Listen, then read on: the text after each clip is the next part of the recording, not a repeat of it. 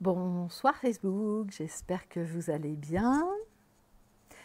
Bienvenue sur ce live numéro 64, Marie-Christine Eustache sur le profil.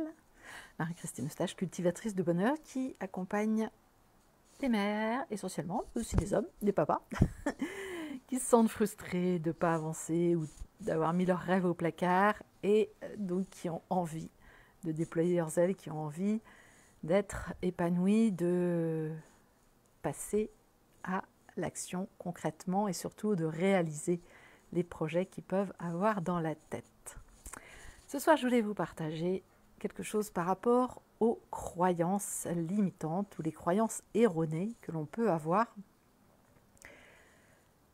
Parce qu'évidemment, dans le programme, dans le parcours que je vous propose, bah, il y a un moment où on travaille là-dessus. Alors, il y a pas deux personnes avec des croyances identiques. Enfin, il y en a qui se ressemblent, bien sûr. Mais, euh, comment dire Chaque personne va passer le cap d'une façon différente. Je vous partage un exemple concret, parce que c'est plus facile. Je ramène toujours à des exemples concrets, pratico-pratiques, parce que c'est pas le tout de se faire des nœuds au cerveau, ça sert à rien et on n'avance pas. Il y a plusieurs années, quand j'étais accompagnatrice pour l'allaitement maternel au sein d'une très belle association qui s'appelle la Leche League. J'accompagnais les mamans donc à allaiter leur bébé et à prendre soin d'elles, tout le côté, l'accompagnement à la parentalité et tout. Et parmi ça, ben, il y avait souvent besoin de se faire aider, c'est-à-dire que ben, on n'a que deux bras, et quand on a un bébé, ben, le bébé il est dans les bras, ok parfois dans l'écharpe, mais on a besoin de se faire aider pour la maison. Alors déjà, ça c'est un cap à passer. Euh, pour moi, ça a été un peu difficile. la première fois que j'ai dû me faire aider. Et surtout, il y a des mamans que j'accompagnais qui disaient Ah ouais, non, mais j'ai pas le budget, quoi. Ça coûte une fortune de se faire aider, euh, d'avoir une femme de ménage, etc. Et donc, je leur disais Ok, ben, je dis Écoute, tu me ramènes un devis. D'accord? Parce que tu dis que ça vaut une fortune, ramène un devis. Et là, elle était un peu stupéfaite de dire, bah, euh, bah, je dis non, mais je dis, ça veut dire quoi une fortune? Est-ce que tu connais le tarif? Bah non, non, non, je sais que ça coûte cher, mais, mais elle ne savait pas combien. Et donc, une fois le tarif ramené, avec les aides euh, dont elle avait droit au niveau de la caisse d'allocation familiale. Elle avait aussi droit à quelque chose par rapport à la société dont faisait partie son mari. Elle s'est rendue compte qu'elle payait, qu'il lui restait à charge quelque chose comme 4 euros, quelques, voilà, 4 euros quelque chose, pour une heure de ménage. C'est-à-dire que pour trois heures de ménage, trois heures de ménage en général ça suffit pour avoir une maison de 90 mètres carrés, euh, poussière, aspirateur, serpillière. C'est ce que j'avais moi. D'accord? En trois heures, un professionnel bien entraîné, il fait ça en trois heures, même euh, un peu moins.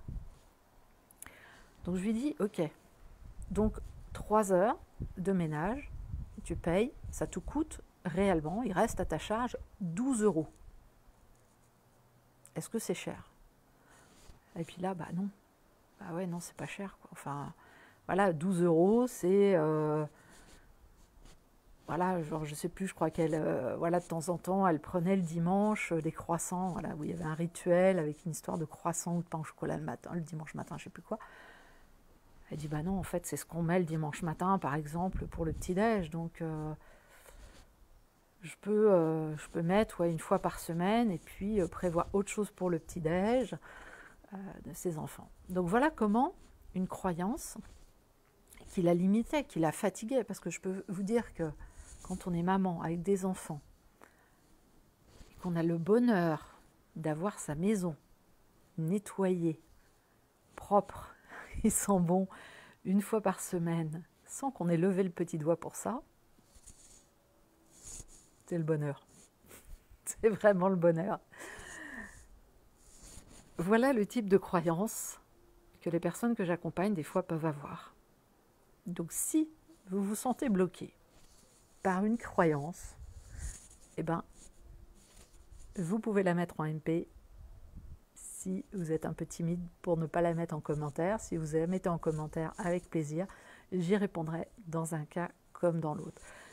Peux vous dire, c'est incroyable, je suis passée par là, c'est incroyable le nombre de trucs, d'idées vrillées, pourries qu'on a dans la tête et qui nous empêchent d'avancer.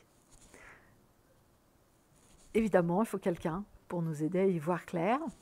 Euh, voilà, c'est pas moi qui lui ai dit à cette maman, euh, bah non, regarde, ça coûte pas cher. C'est elle qui s'en est rendue compte toute seule en faisant un devis, en faisant les calculs par elle-même. Elle s'est dit, bah ouais, non, en fait, 12 euh, euros par semaine pour avoir une maison propre, euh, c'est tout à fait accessible. Voilà, et elle a pu s'offrir ça. Au plaisir de vous accompagner. Le programme, je vais en parler d'ici peu de temps. Je suis en train de finaliser, mais il y a déjà du monde qui est prêt à embarquer pour mon plus grand plaisir et pour le plus grand plaisir des personnes que je vais accompagner, pour vous aider à réaliser vos rêves, à aller concrètement, concrètement, que ce soit fait dans la réalité physique et matérielle. Sur ce, je vous souhaite une excellente soirée. Je vais aller dîner. Avec mon chéri, nous attendons des amis, une cousine à lui. Donc on va attendre un petit peu tard parce qu'ils vont rentrer tard, enfin ils vont arriver tard. Donc très bonne soirée, bonne continuation. À demain pour les copines. On se retrouve les Nicky Jet demain matin à 9h pour bosser à fond et on bosse bien. C'est un grand plaisir. Portez-vous bien, prenez soin de vous et à demain soir.